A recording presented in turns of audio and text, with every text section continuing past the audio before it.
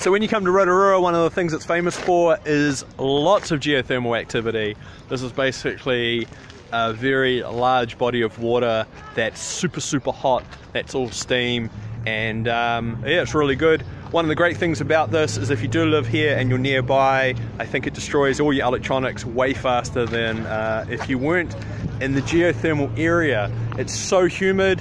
Um, I'm not sure how it would be like trying to grow a pumpkin next to this. I don't know if anyone is, but uh, good luck to you if you are. Welcome to episode 8 of the vlog. I thought I'd bring it to you from outside in the patch. Uh, it's very humid. Uh, I mentioned that later on in the vlog. Uh, it doesn't matter where I am, inside or out here. It's very humid. Actually, interesting fact, if the average temperature for January goes up by half a degree, and it probably will, it's going to be the hottest January in all of New Zealand's history. It also looks like February is going to be the hottest February ever since the records began, and that's just crazy. Global warming in effect? Probably. Um, how is it affecting the plants? Well, I'm in a very small location. Here, obviously, the world's smallest giant pumpkin patch. There's the pumpkin under its new cover, I'll talk about that later. But basically, because it's so humid and I am very sheltered from the wind, there's no airflow, so powdery mildew is a real pain in the backside. Probably didn't help that I had misters going every second day while I was away in Rotorua, but it's good to have that time away. I had a really good break. Uh, it was my birthday. I'm now much older, and it was great spending time with good people, and I checked out a whole bunch of stuff in Rotorua. hadn't done that for a long time. So I found some water. Uh, you know, could be good to water pumpkins. Maybe, not sure if you can even hear me.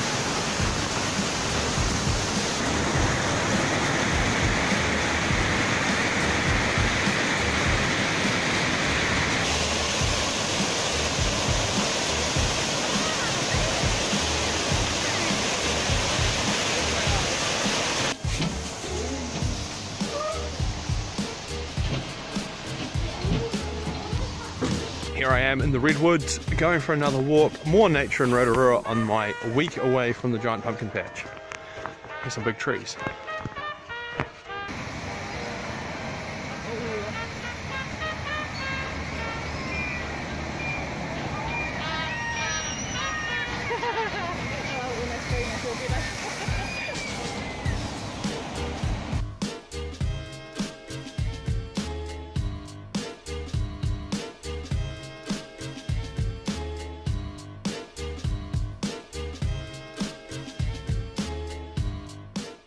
And it was good. And it just makes you realize just how beautiful everything is here in New Zealand.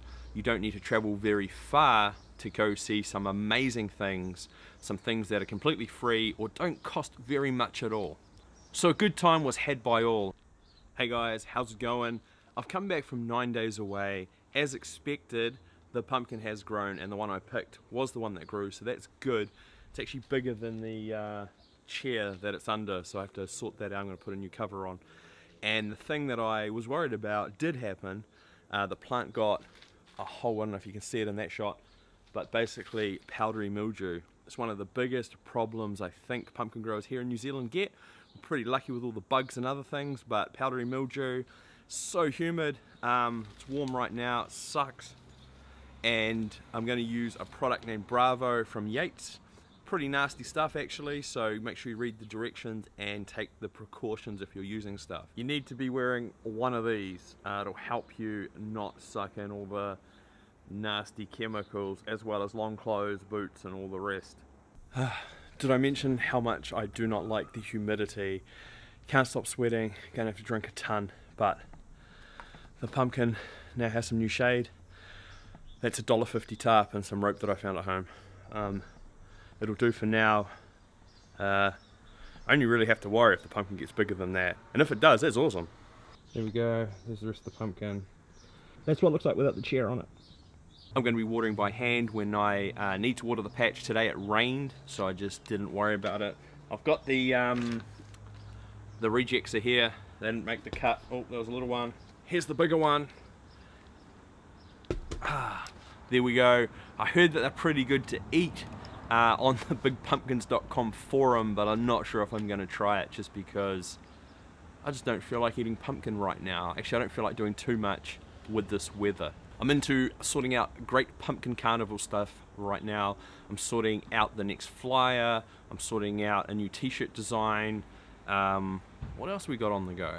Oh, we've got a mascot suit being made. That's a first for us. That'd be pretty cool. And just organizing the day and sorting out volunteers. Sometimes it's a bit hard to get the volunteers that you need, so we use a not-for-profit sort of thing here in the area I live in that um, allows you to get volunteers.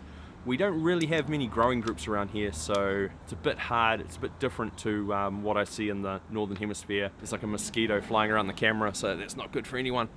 But uh, that's what's been happening around here. Let me know what's been happening with you. I know a couple of people had soft spots on their pumpkins. You want to get that under control or you're going to lose your pumpkin. Uh, the other thing was someone had some little black caterpillars. Now, they're probably around all the time, uh, but luckily we don't have the bugs that everyone else does overseas so just use some product for that should be good this mosquito is probably going to give me malaria any second now looking forward to that so I'll leave it at that um, hope to bring you some more footage of different things next week let me know what you want to see like do you want to see more of the pumpkin obviously everyone wants to see more of Tim's patch so I've got to check out that but do you want to see other just random bits and pieces that I'm doing during my week uh, let me know uh, be keen to hear from you. As always, check out the website giantpumpkins.co.nz. Say hello or comment on the YouTube video below.